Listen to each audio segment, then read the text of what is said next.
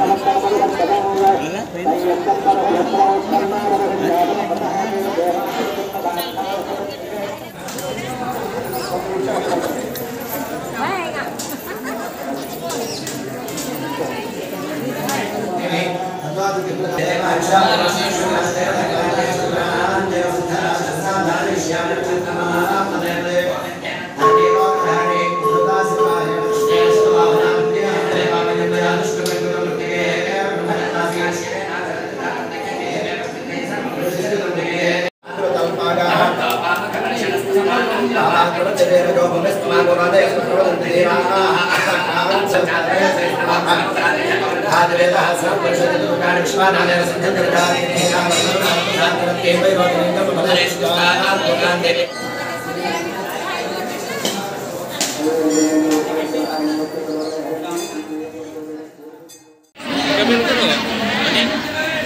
lain kajian pun.